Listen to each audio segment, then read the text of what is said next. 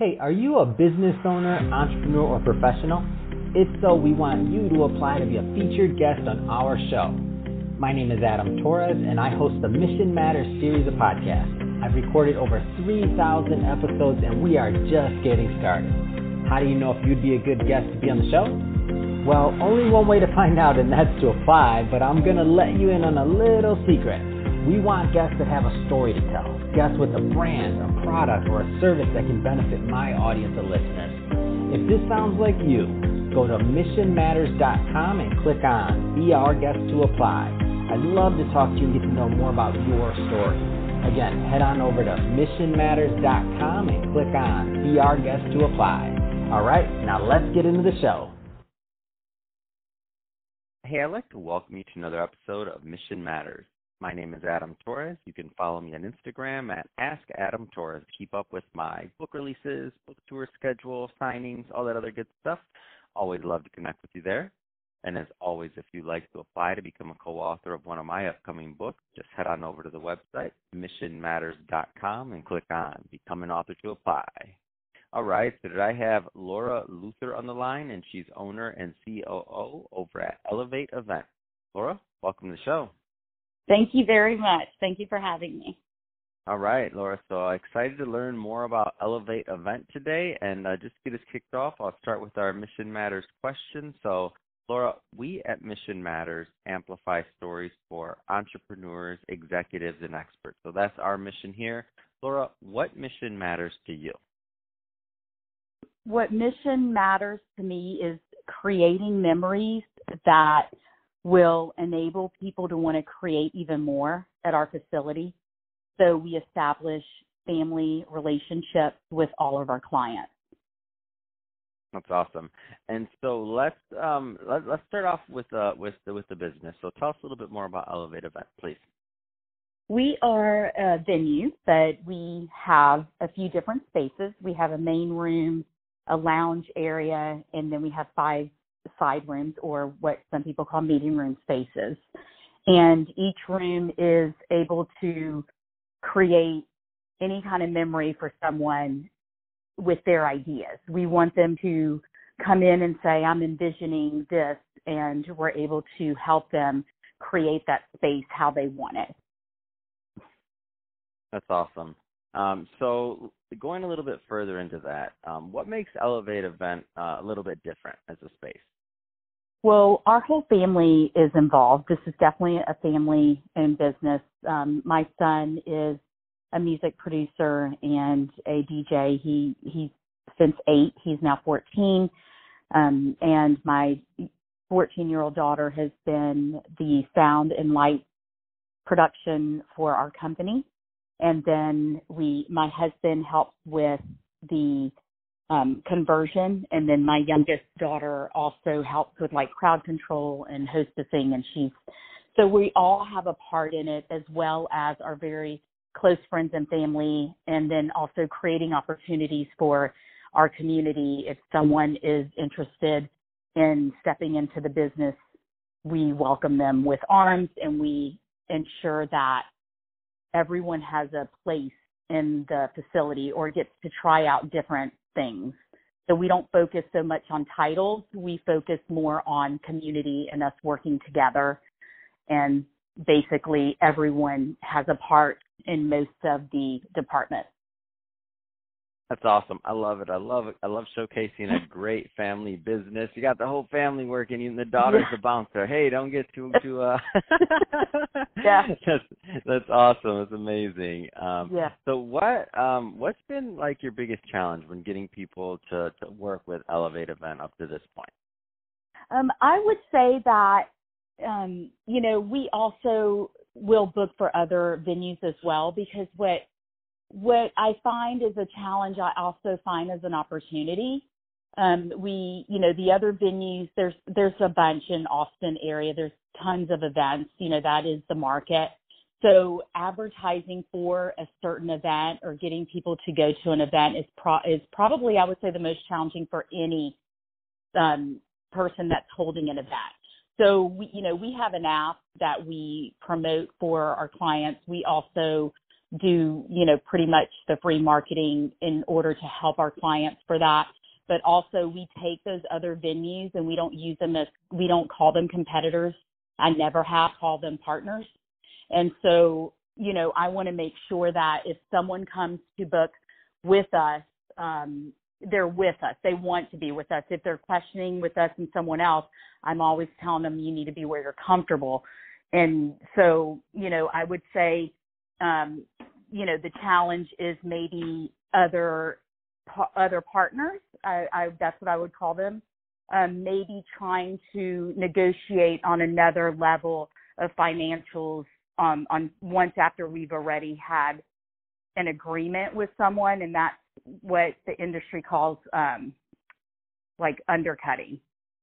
So mm. that does happen. It just happens in the industry. So what I what I'm doing is using that as an opportunity and trying to partner even more so with these venues so that we can help each other and nobody has to undercut basically. So mm. And so how has how have things changed um, due to COVID and like and are there extra precautions or things like that? Because I know events are starting. To, I know everybody wants to go to events now. That's the way I see it.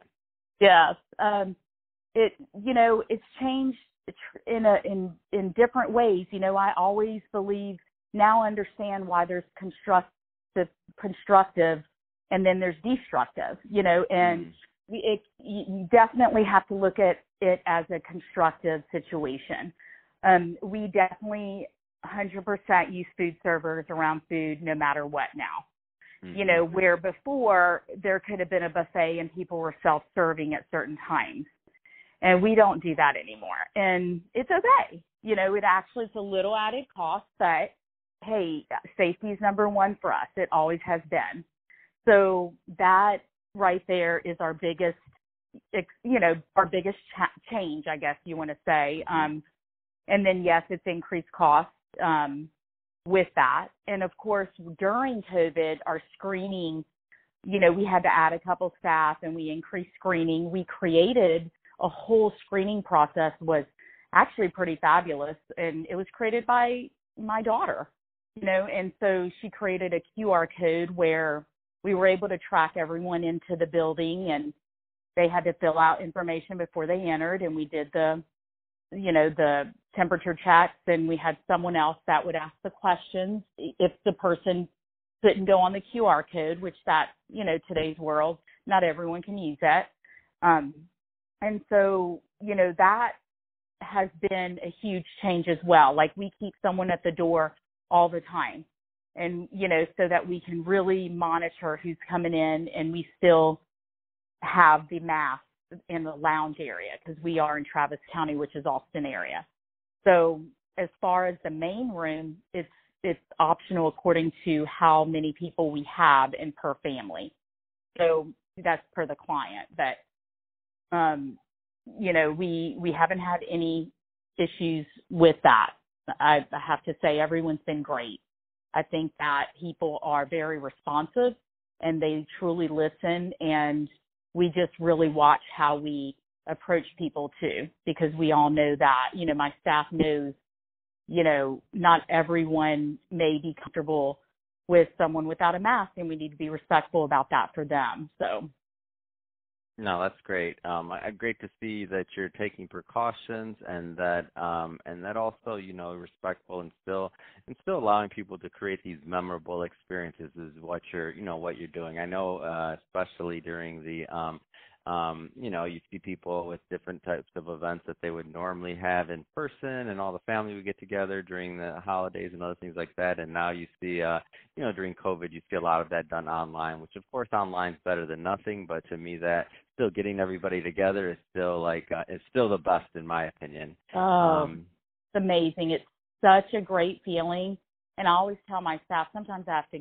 be there to remind them just take a step back and look what what y'all created, what everyone created together, you know, and really embrace it because those are the moments that you may tend to just be working, working, working, not really take a step back and just look at it and how people are laughing and just you know happy, and that right there just spreads happiness to even more people, and that's you know what we really have always wanted that has always been like our our mission for Elevate and to be, you know, different to where if they need to call to question something, they can. They're not going to get a recording. They just won't. So, yeah. No, that's amazing. So, Laura, uh, first off, this has been great. I love bringing mission based businesses and entrepreneurs on the line, and that's what you're really doing. Your mission to, over there to uh, create these memorable experiences for, for your clients and who you mentioned are, are like family after time. So, that's awesome. Um, so, if somebody's listening to this, Laura, and they want to learn more and, and they want to um, learn more about the venue, I mean, what's the best way for them to do that? Um, you know, our Google pictures are great. Just Elevate event on Google is fantastic. It's it's the fastest and simplest. We also have a website that as soon as you click on the website, which is elevateevent.com, um, I'm sorry, elevate-event.com has a dash in between. And once you click on it on the top, you can download our app, and it's it's free. So if they download our app, they it literally they get updates every now and then. We'll send or like a little picture of a quote with someone being happy, something like that. One of our right. events. So it's it's great, you know, and then that way they don't ever have to look for us again. It's right there on their phone. Um, and then of course our Facebook is Elevate Dash Event as well. So fantastic. And I just went to the site, and I'm guessing that's your family right on the on the on the front cover, right? Family owned and ran, right? Yes. oh, that's amazing. I love to see this. This is great. Um, yeah. Well, Laura, just want to say again, thank you for coming on the show today. It's been a pleasure having you on, and great. And again, happy to bring this to my audience. Everybody, go check out that website. So it's elevate-event.com. Um, and everybody tuning in, if this is your first time listening, don't forget hit that subscribe button. We have many more mission-based businesses and entrepreneurs coming up for you, and don't want you to miss a thing. And Laura, thanks again for coming on the show. It has been a pleasure. Thank you so much. All right.